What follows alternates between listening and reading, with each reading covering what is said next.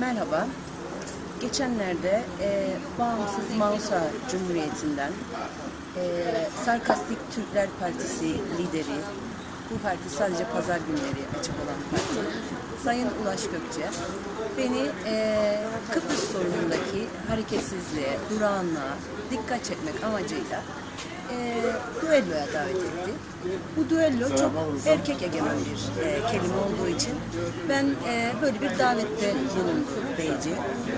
Bu meydan okumayı kabul ediyorum ve ben de bu akşam Ulo içiyorum.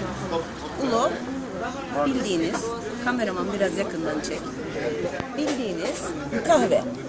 Fakat biz buna undefined liquid object diyoruz Kıbrıs'ta. Çünkü kimisine göre Greek coffee, kimisine göre Turkish coffee, kimisine göre ise Cypriot coffee olarak adlandırılıyor. Müsaadenizle.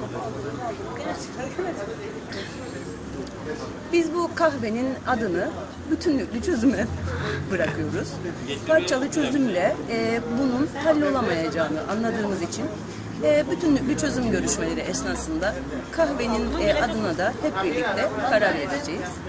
E, ben şunu belirtmek istiyorum. Kemal Saraçoğlu Vakfı'na ayrıca videomla beraber e, 100 TL yardım yapacağım. Sayın e, Ulaş Gökçe'den de kadın sığınma evi için 100 TL'yi hazırlamasını rica ediyorum. Ben de 3 kişiyi e, Kıbrıs sorunundaki durağanlığa dikkat çekmek üzere e, davet ediyorum. Bunlardan biri Kıptek özelleştire, özelleştirilemez. Kolaysa özelleştir hareketinin başkanı Sayın Tulu Kalyoncu.